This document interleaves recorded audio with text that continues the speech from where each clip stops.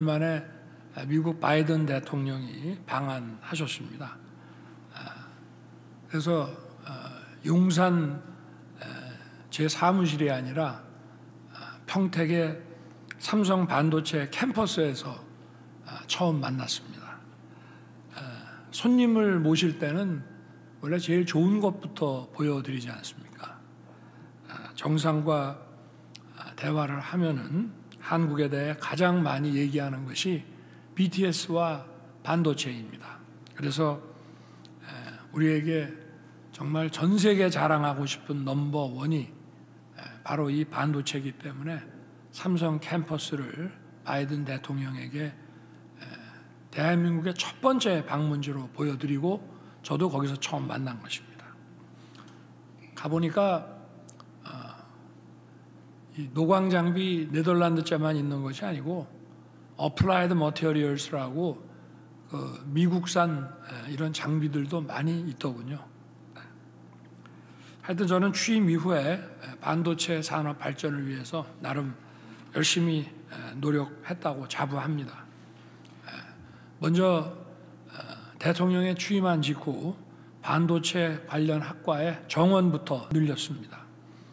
오늘 반도체 전공 학생들이 많이 오신 것으로 알고 있는데 정부 출범부터 지금까지 저와 함께하고 있는 이종호 과기부 장관도 여러분의 반도체 전문가 선배입니다.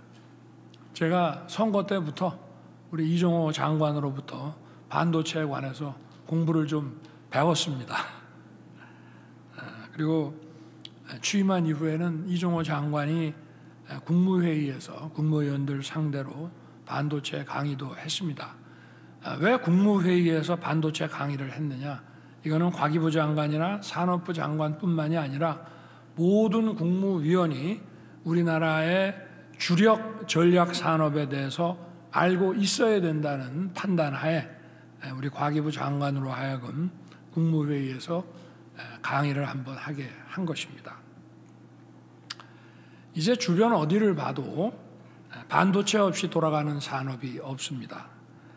AI, 첨단 바이오, 퀀텀 같은 3대 소위 미래 전략 기술이라고 하는 그런 것에도 핵심 자산은 반도체입니다. 퀀텀조차도 바로 이 반도체 칩을 만드는 그런 기술로서 소형화하고 이 퀀텀 프로세스를 효과적으로 쓸 수 있는 것입니다. 그리고 반도체는 최첨단 무기 체계의 기반이 되는 안보 자산입니다. 1970년대, 80년대 미소가 아, 이런 전략 무기 체계를 가지고 엄청나게 경쟁한 거를 여러분도 뭐 다 들어서 알고 계시거나 그 시절에 학교 다니신 분도 계실 텐데 결국 미소의 전략 무기 체계 경쟁은 바로 반도체 경쟁이었습니다.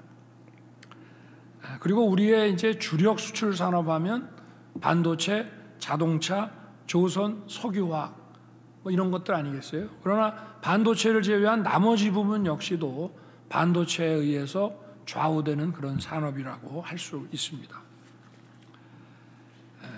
반도체는 그 어떤 산업보다도 우리의 민생을 풍요롭게 하고 많은 양질의 일자리를 제공합니다. 우리가 반도체 그러면 아 삼성전자, SK 하이닉스 뭐 거기만 잘 되는 거 아니냐 이런 생각을 하기가 쉽습니다만 여러분들은 안 그러시겠지만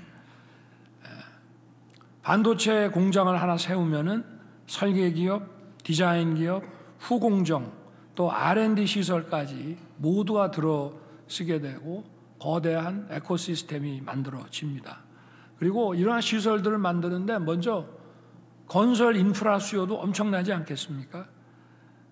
그리고 반도체 생산에는 엄청난 양의 공업용수와 전기 공급이 필요합니다. 제가 이제 해외 순방을 나가서 외국 정상들을 만나보면은 반도체 이런 그 파운드리를 갖고 있지 않은 그런 국가의 정상들은 저보고 그래요. 한국의 반도체 이런 기업들한테 자기네 나라에 와서 이런 좀 파운드리를 좀 하나 만들어 달라고 얘기를 합니다. 그러면 제가 어, 라인 하나 까는데 공호병수가 어느 정도 전기 공급이 어느 정도인지 얘기를 하면서 이 나라에 원전이 몇 기나 있습니까? 라고 제가 물어보면 왜 그러냐 그래요. 그래서 라인 하나에 원전 한 기 정도는 있어야 되는데 에? 라인 하나에 인구 100 한 4, 50만이 쓰는 전기가 필요한데 에, 공호병수와 전력이 그 정도 공급이 됩니까? 라고 물어보면 입을 닫습니다. 에? 그러니까 이게 어떤 산업인지 이걸 하고 있는 나라 아니면 잘 모릅니다. 그래서 이게 엄청난 양의 그 전후방 이런 관련 효과, 전후방 투자가 필요하고 그리고 1, 2, 3차 협력업체들의 동반 투자가 뒤따르면서 이 반도체 공장을 하나 세우게 되면은 어마어마한 일자리들이 창출되게 되는 것입니다. 우리가 평소에 그걸 잘 못 느낄 수 있어요. 어, 이게 반도체 공장이 만들어지면서 거기에 따른 이런 생태계가 조성이 되고 전후방 이런 어, 저 어? 이런 동반 투자 효과가 생겨서 우리에게 이런 일자리가 어, 생기는 건지 못 느끼는 경우가 많이 있습니다만은 반도체라는 것은 그만큼 우리 일반 국민들 중산층 서민들의 민생에 엄청난 영향을 주는 산업이라는 것을 우리가 잘 알아야 될 것 같습니다. 그러다 보니까 지금 선진국들은 이런 반도체 메가 클러스터를 구축하기 위해서 아주 치열한 전쟁을 벌이고 있습니다. 미국도 과거에는 자기들이 그 파운드리 가지고 있다가 이제 설계 중심으로 하고 뭐 일본, 한국 뭐 이런 데다가 저 파운드리 만들고 자기는 물건을 사가는 시기였는데 지금은 자기들도 이걸 구축하려고 하고 있습니다. 그건 엄청난 또 고용 유발 효과가 있기 때문에 그런 것이기도 합니다. 중요한 것은 우리가 이제 반도체를 중심으로 한 과학기술 혁명의 first mover가 되기 위해서는 천천히 순리대로 나가면 되는 것이 아니라 국가의 모든 인적, 물적, 전략 자산을 총 투입해서 어, 치열한 속도전을 펴야 된다는 얘기를 저는 오늘 하고 싶습니다.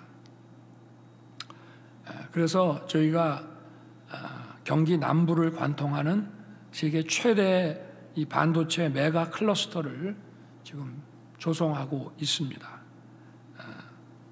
저희들이 일단 1차적으로 그 예상하기에 약 622조 규모의 투자를 지금 예상하고 있는데 이미 시작이 됐고 앞으로 20년에 걸쳐서 최소한 양질의 일자리가 300만 개는 새로 생길 것으로 아, 예상하고 있습니다. 당장 올해부터 향후 5년 동안만 158조 원이 투자되고 직간접 일자리 95만 개가 새롭게 만들어질 것입니다. 현재 우리 반도체 분야 일자리는 한 18만 개 정도 되고 있습니다만은 클러스터가 완성이 되면 바로 이 팹에서만 7만 개 일자리가 더 생기게 됩니다.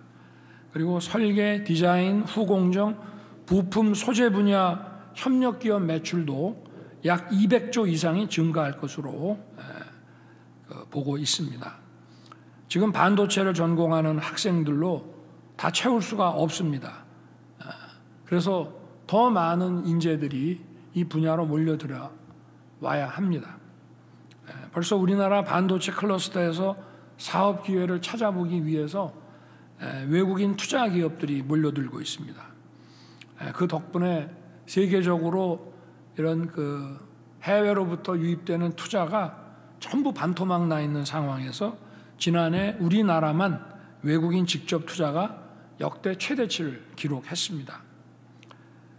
반도체 산업은 아까도 말씀드렸지만 국가의 인적 물적 자원을 총력 투입해야 성공할 수 있는 전략 산업입니다.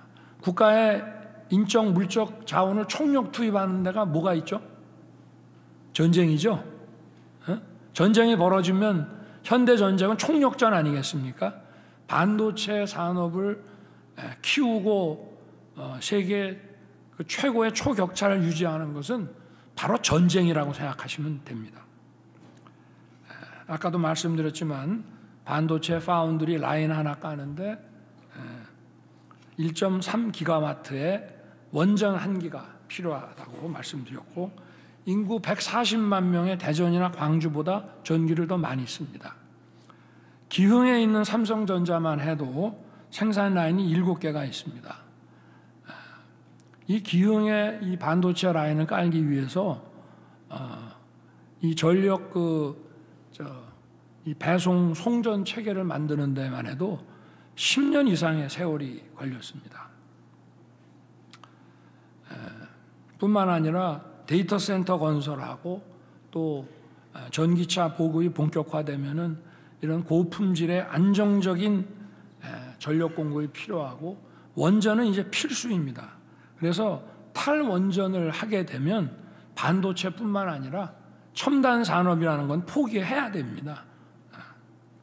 그래서 이 약간 좀 그 오늘 반도체에서 조금 벗어난 얘기지만 우리 민생을 살찌우기 위해서라도 아, 이 원전 산업은 계속 발전시켜 나가야 한다는 것을 알 수 있습니다.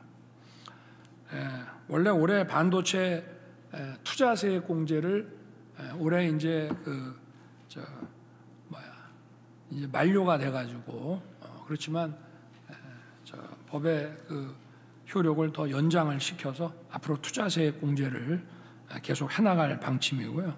여기에 대해서 뭐 대기업 퍼주기다 이런 얘기들이 있지만 이거는 정말 말도 안 되는 얘기임을 알 수 있습니다.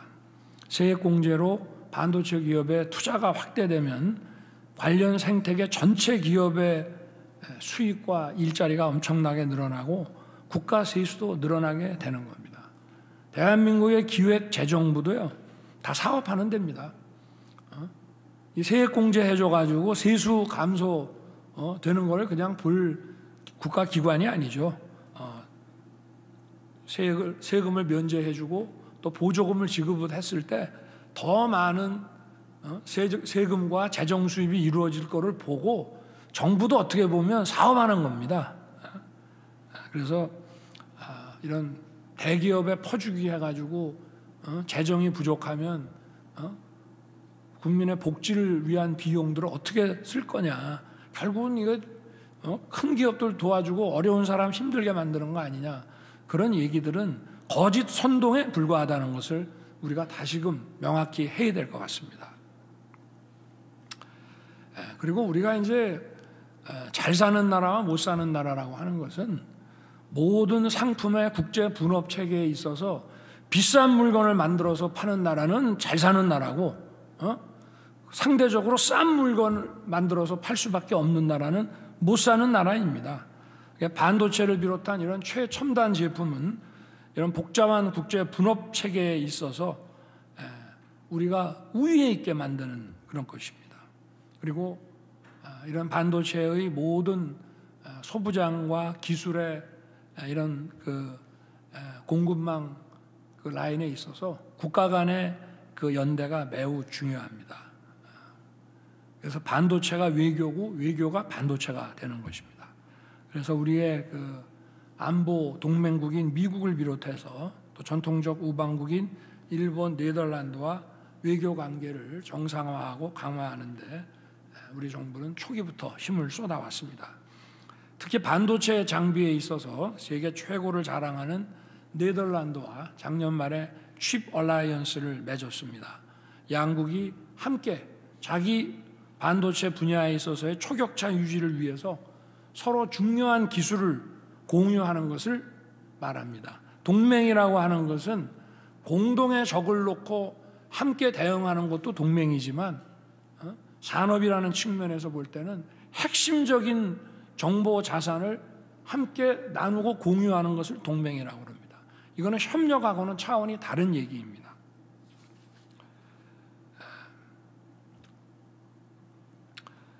그리고 이 반도체 산업 초격차를 유지하는데 무엇보다 제일 중요한 것은 우수한 인력입니다. 아, 여기 계신 반도체 전공자뿐만이 아니라 공학과, 물리, 화학 뭐 이런 다양한 분야 이런 기초 과학을 포함한 이런 분야에서 국제 경쟁력 있는 인재들이 많이 배출돼야 우리가 초격차를 유지할 수 있습니다. R&D 투자라고 하는 것은 결국은 사람에 대한 투자입니다. 어? 뭐 기계 사는 게 R&D겠습니까? 결국은 우리 학생과 연구자들을 더 우수한 인력으로 만드는 그 과정이 바로 R&D 아니겠습니까? 그리고 저희는 이제 얼마 전에 우리 용산의 국가안보실에 원래 1차장, 2차장만 있었는데 그래서 외교안보와 국방안보 이렇게 두 개로 나눠져 있었는데 경제안보와 이런 첨단 기술 안보를 담당하는 3차장직을 신설했습니다. 그리고 과학기술 수석도 곧 선발할 예정입니다.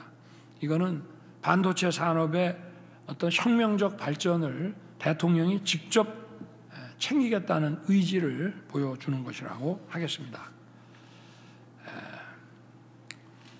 남들은 말, 만들지 못하는 아주 비싼 고부가 가치 상품을 생산하는 우리 산업 구조가 돼야만 우리 국민 모두가 다른 나라보다 잘 살 수 있습니다.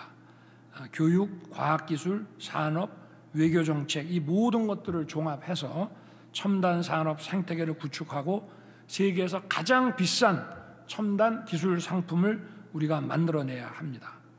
오늘 각 대학 반도체 전공 학생들 또 현장의 반도체 관련 기업인들께서 이 자리에 많이 오셨습니다. 좋은 정책 아이디어를 마음껏 펼쳐주시기를 부탁드립니다. 감사합니다.